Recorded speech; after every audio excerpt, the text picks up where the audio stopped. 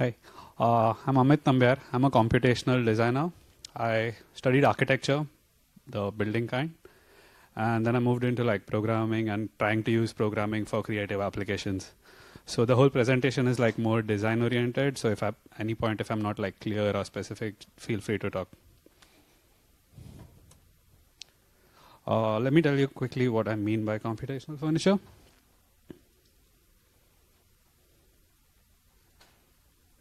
So this is the idea where uh, I write a script which converts human parameters like age, weight, people that people who are not familiar with programming or like logic or that sort of stuff can associate with, and convert it into a meaningful piece of CAD geometry, which can be good for fabrication, for so that people can make furniture for real. And it's not playing.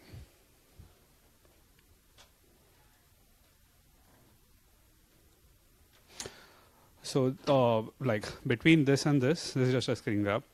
There is a logic which translates these parameters into geometry, and it's giving a bunch of information which is useful for fabrication and also like the design itself.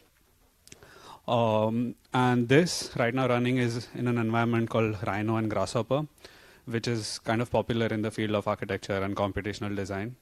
Uh, it gives you a programming environment to program 3D geometry. Uh, it has a bunch of like CAD operations and a kernel inside, which allows anyone to do this sort of stuff. So this makes it easy, but it's constrained to a desktop environment.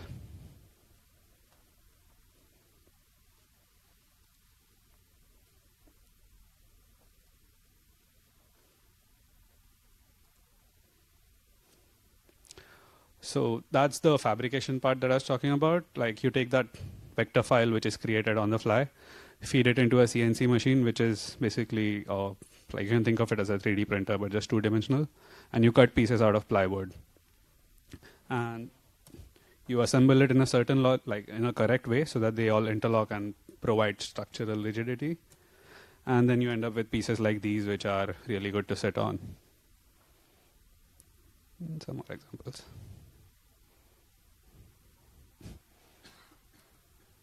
Uh, so that is how I started off with this. Like this is, doesn't yet relate to JavaScript. Uh, I started that like some, a few years back, and I made a bunch of samples, and then was experimenting with the idea. But it was really cool to like like interested to try make it more accessible, and that's how I thought of JavaScript. And then I sort of like doing the same process, but on the web, in the browser.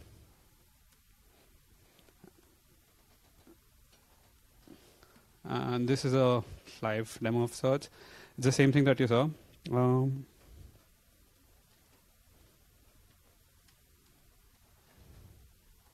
so it gives a representation of what the furniture design would look like. And the logic which I was mentioning earlier, which was in Grasshopper, uh, has been like it makes it easier to do it in JavaScript instead of uh, instead of uh, Grasshopper, and it convert makes this translation of the logic into this. And by clicking this, it gives you the file that you would need for anyone with access to a CNC machine to fabricate it. Uh, so this project, how I started off with, has grown a little.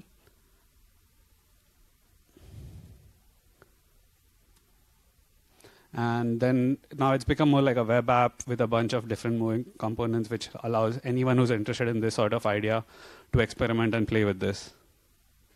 Uh, and so, like when I started off with this, the idea was to make anyone who wants to make such sort of furniture, make it easier for them to do it, make it easy for the makers that who, who fabricate the thing to actually take it and make it out of plywood. Easy, easy for them. Like they shouldn't need to know the complexities of JavaScript or furniture design or any of that, and then also make it easily accessible. So like the web kind of fit perfectly into this. And this is the part that I'm talking about. The stuff that I'm working on is like stuff within the dotted dotted line. And these are independent people who who I think like might work with the platform. And the the design that you saw earlier, that was like a prototype which I made because I've been working on it. But that could be anyone. And the idea the idea of encoding furniture design as a JavaScript file, those are these people. That's what I assume and the makers are different people who can just like download a file and get it made and fabricated and whoever wants it can use it Uh, so a little bit about how it's been going. So it's been going fairly okay, where like it's go- it's like more more and more people are taking interest in it, and there are different parts of it. Right, some people who want to make such furniture, some people who want to fabricate it, and everyone has a different uh, takeaway from it. A bunch of stuff that I think it might lead to is like reducing an entry barrier for furniture. Uh, this is like the more design-oriented stuff. Like right now, it's kind of difficult for furniture designers to start off with fabricating furniture because you need a studio, you need to line up with like production facilities and all of that. This might help. Like this kind of approach might reduce that. Uh, in within aspects of furniture design, like I think this is far more interesting for me personally. It opens up like a new dimension of exploring furniture. Like conventionally, furniture is a thing which is fixed, designed at one point in time, and everyone's using it. Uh, but when you are uh, able to program it, you can think of like different ways of how you wanna modulate the proportions, the ratios, the different parts of the furniture to make it uh, like either specialize it for something for someone specifically, specialize it for a region, or any other creative applications. Like I'm not sure how it could go. And then the idea of like everyone being able or everyone having access to the same quality, same standard of furniture, irrespective of where you are. Like the whole logistics part of it, it breaks down because when you're uh, like calling for furniture, you're not ordering it like ship it from somewhere in the world, but you're just sending over the file to the closest maker around you who can make it for you. And this is kind of uh, like I've bootstrapped this heavily, and a bunch of different technologies that I'm using to try to keep this up. So for a designer, a lot depends on like using, understanding Git, how to make it work. Uh, like it's not central, but it's just like for to collaborate with the community, I would say. And a bunch of front end libraries. So the app and everything that you saw runs purely client side, nothing on the server side. Uh, and it's like this semi hacky way I put together to make it run. Yep, and like that was the main chunk of my presentation, which wasn't really focusing a lot on the technical bits of the JavaScript because I made it for another presentation. But the idea of uh, this part was I perceive might be something useful, like valuable, where like you don't need servers or anything to do this. Basically, every like all the processing, the CAD engine, the kernel happens on the client side, which is not like CAD kernels are pretty computationally expensive so it doesn't usually run on the front end. But using a bunch of libraries that I earlier mentioned makes creating geom- procedural geometry on the fly, like verb NURBS, is really cool to work with. NURBS geometry, which is like curvy and flowy and more aesthetically appealing, I guess, more conducive for the human body form. Like you can imagine, straight lines are not that comfortable.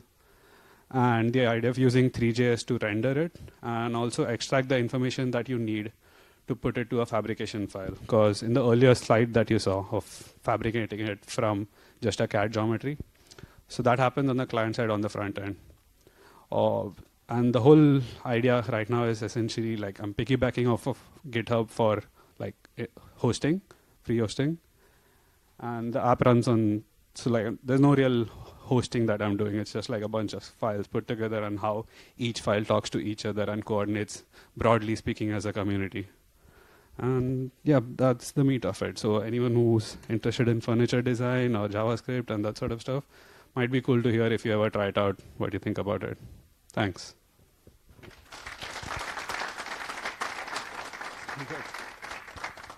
Yep, and if any questions, I think I have time.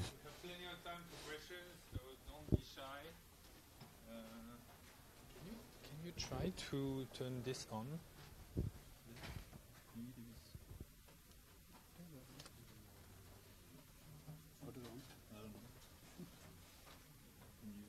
Say something? Oh, yeah, this would have been better. Hey. Wait, wait, wait, wait, wait, wait.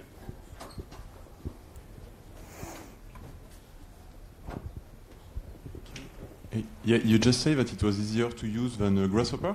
Sorry? You said it was easy, easier to use than Grasshopper? Uh, Rhino? as a designer, like Grasshopper is a whole environment, right? So it lets Yeah. you a bunch of things. Uh, like it, it's a visual programming environment. So people who are not familiar with scripting makes it easier, but the logic and the underpinning is the same. Do you get what I'm saying? Okay. Can you just show some code? Yeah, that's what I'm trying.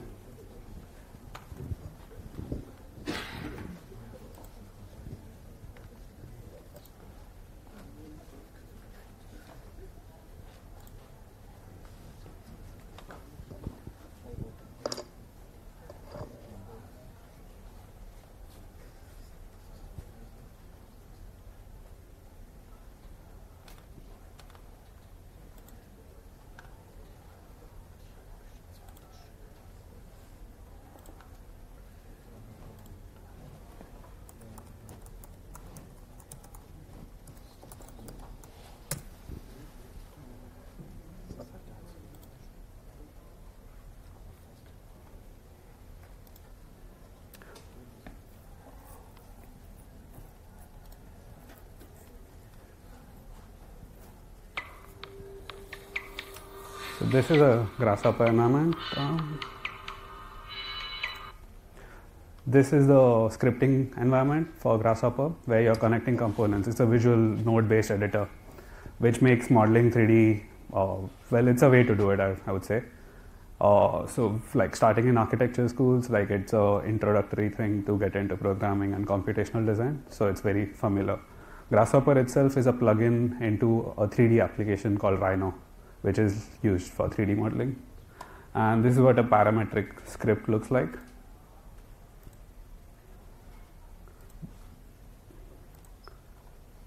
And this is what a design file that you would write in JavaScript, but executing more or less the same things would look like, which is like JavaScript.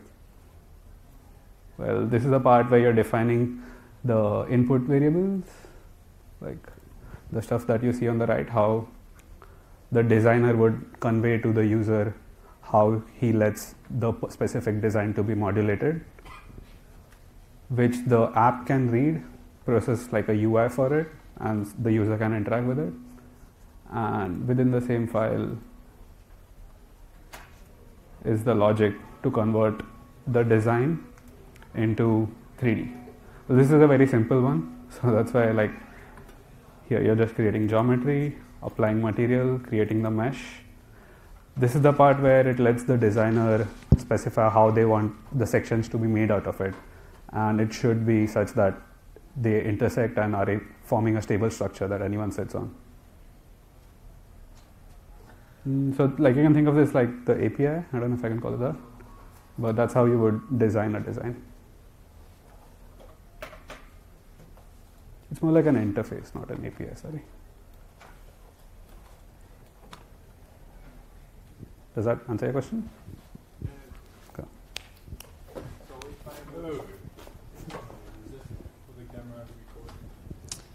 If I would change the dimensions of the furniture, um, can it also uh, maybe add an extra slice for support or something like that? Yeah, absolutely. Uh, if you see here, you see this guy.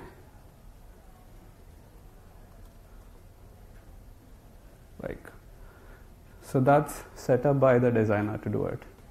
And the idea is like this is my design, so I created it with a logic. that shouldn't be more or less spacing than like 12 inches or not 12. Like eight, I don't remember some few inches, but that depends on whoever designing the furniture to make sure that it's stable. Thank you. Sure.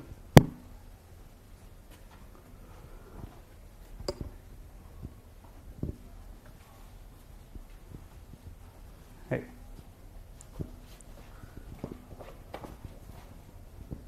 Um, how does a designer specify materials for the maker? Are there certain restrictions so that when it gets sent to a maker, they only make it out of certain things?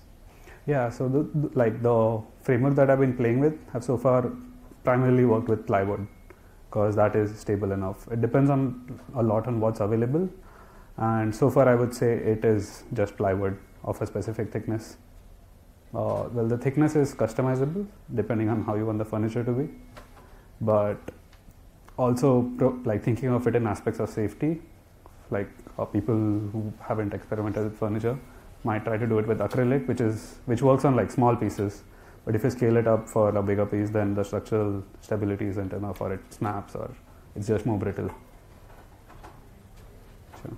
Uh, and the material that you saw in there, that's like just for visualization. That is in the material.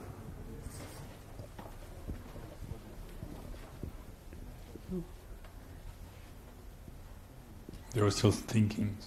Sorry? They were still thinking. I can Okay. I can see it. Can you can you show how um, you interface with Three.js? Uh, so Three.js is the library that I'm building on. Uh, the idea is like this is Three.js running as an app within the in, within the web app. My app is specifically extracting geometry, providing a platform. So it's a library for me, I'm using it as a library. Uh, It's using a bunch of operations within Three.js and the community around Three.js to extract the vector geometry, to modulate lines, makes stuff easier. But the like stuff you see left of this line is Three.js. And then in Three.js specifically, what what is the geometry you're using? Uh, well, this is one piece, right? Uh, this was my inspiration, which I started off with the earlier pieces that I was showing you. Uh, the idea is like limitless. There's a whole design gallery, and like if people are submitting more designs, it could be anything. But for this one, I start off with a specific profile.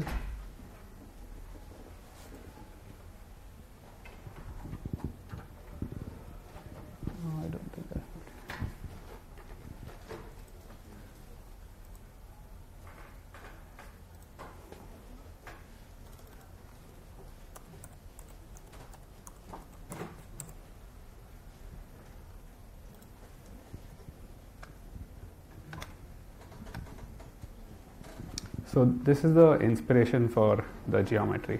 Let me either show this one and or this one. It doesn't load. So this is something I did for a hackathon, where the idea was I, fetch, I was fetching. It was a proof of concept thing. It I was fetching information about a person's genetic data from like services like 23andMe. This is a competitor, I guess, to them, and using that to customize furniture. So broadly figuring out how a furniture looks, how it should feel, and how I can customize it. That's kind of the design logic that comes in before you're making furniture or before you're writing code. Sorry. And then you figure out the mathematical relationships between how you want different parts of your furniture to move and how they like how with respect to each other. And it also like corresponds with human anatomy. Like there's a whole library of anthropometric data about how body proportions should be and all of that uh, which is like the uh, ideal approach to do that is like you take that and pick an average or pick an like 80 percentile or the your target audience for a furniture design and you customize it for that. But doing it live like dynamically or, or procedurally lets you modulate that for a specific time person without constraining your design to limitations like that. And then you figure out like the proportions that you want to be and this is what the CAD file, the fabrication file looks like. This is what goes to the CNC guy, and basically he just needs this and the material thickness and money. Uh, so these are kind of the inspiration. So it's it's not like about a specific geometry, but how you think of furniture. I would say. Yeah. Um, did you implement an algorithm to do the 2D layout of the uh, uh, laser cutting part? Working on that right now, Okay. as I say. Because that's uh, that would be an interesting algorithm. Really? Yeah. Like, um, like I have like something working, not published or anything, but should Maybe you can show something. Uh, I like I don't have it right now, but you could check back or like you could reach out to me after and I can talk to you. All right. Thanks. Mm-hmm. Are you looking for contributions? Are you like, what is the next step where maybe we could help? Oh, definitely. So this is the page that I was talking about. Like everything is open. The idea of making such furniture, like the idea is not super complicated. I would say, like company had to do it, they could definitely do it. But bring it out in the open, where there are two parts. Well, one is the maker network, people who can fabricate such th- things, And that's most of the people that you saw earlier who, who have reached out and connected with me. And there's a bunch of designers, people who are interested in making such furniture. So I've had like regular interactions with people who want to do an experiment with this, but that's like really more keen. And like furniture design is a part of it. I would also like just like to hear people who are using who try to experiment this, experiment with this, or how the how the app is working for them so far. And like starting it is I've made a how to getting started guide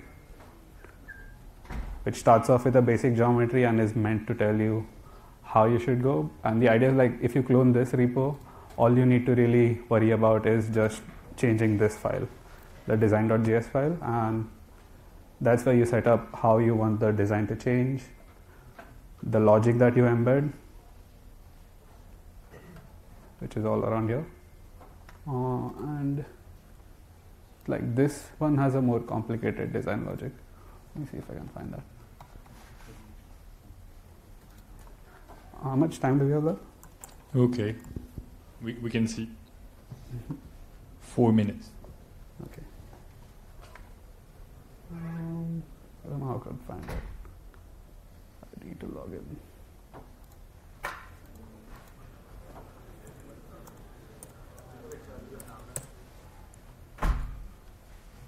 Hmm.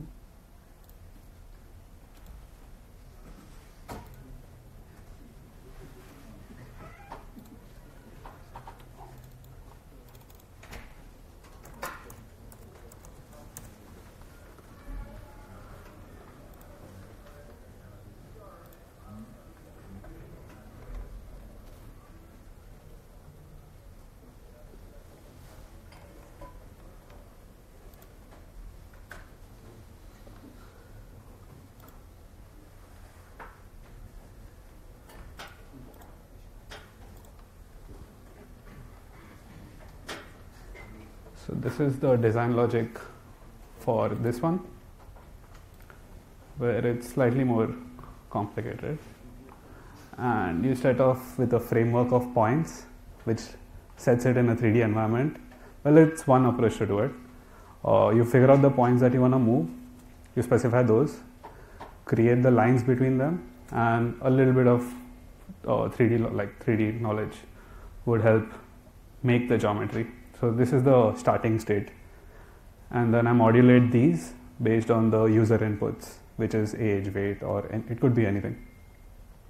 And then NURB geometry helps you create smooth lines between any given points, like not always smooth, but and this is the process of adding it into the scene, like adding it into the app.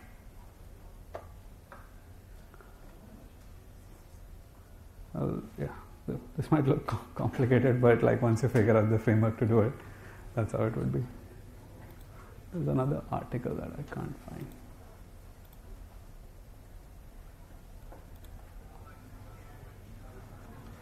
What's this note?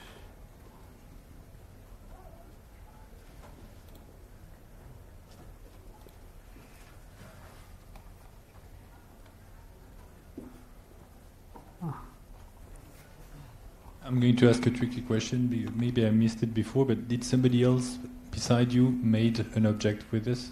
Sorry? Did somebody else beside you made an object using No. this? Not not anyone so far yet. So that's the first contribution that I'm most keenly looking for. Well, I- it's a great room we have, so I'm pretty sure somebody somewhere is going to do it, right? Yeah, I'm Yes, like see getting started is not easy, difficult.